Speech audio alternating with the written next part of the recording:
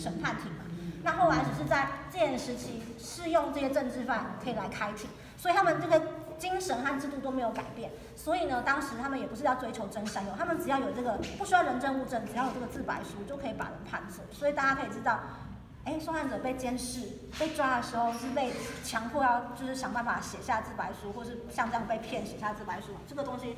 呃，特务员拿走之后就可以跑过去流程，所以几乎很难是无罪的哈。好，那刚刚这边还要展示的一个东西叫做起诉书，在审的流程当中呢，就是在每一个受害者被羁押期间，他必须要收到起诉书，才知道他被国家判哪一个条文处罚，他可以因应来做准备来开庭。这是应该有的流程，但是许多受害者都是来到这边开庭之后，回去才补给他起诉书，甚至补给他判决书，所以就是说，它是一个秘密审判、不公开的一个实务的状况，许多的黑箱作业就是由此而来。哈，好，那就这大家可以看到，看他们一下。那后面有几个就是轰动当时的一个答案，件，如果是你可以先开始来慢慢看，这边讲的是陈忠口，那最右边讲的是博洋，那另外还有一个当时的广播天后。被认为是呃不忠哦，然